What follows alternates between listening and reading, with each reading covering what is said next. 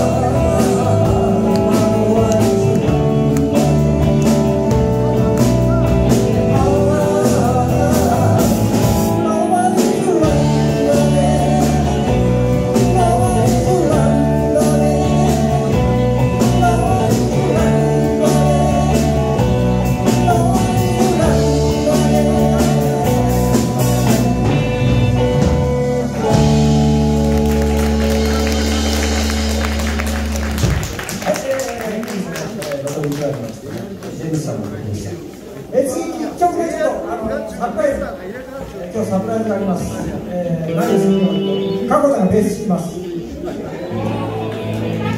ー、どうもね、あのー、ちょっと、あの昔の、まだオリジナルなんですけど、中川清太郎さんが東京に、本番の解散が東京に行かれ？て、ガレッっていうバンドを作りました。その時のオリジナルのね、曲をだから、えー、ご披露するんで。CD がね、えー、あった時に、彼女の上に狂っちゃって、じゃあアウトロ聴いてください。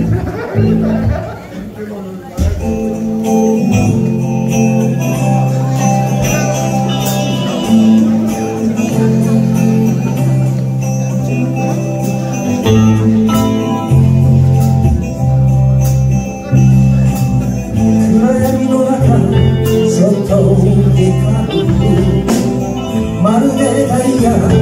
モンドのあまりに強たくあまりに難しく問い。切りさえも知らず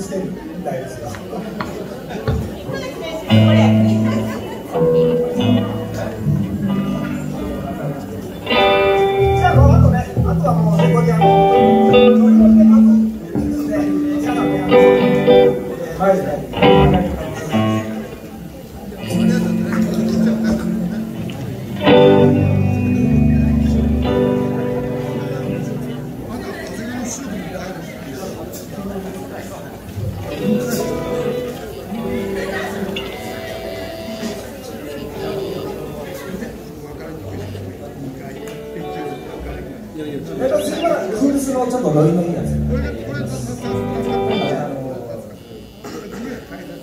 前期のちょっとノリのいいやつ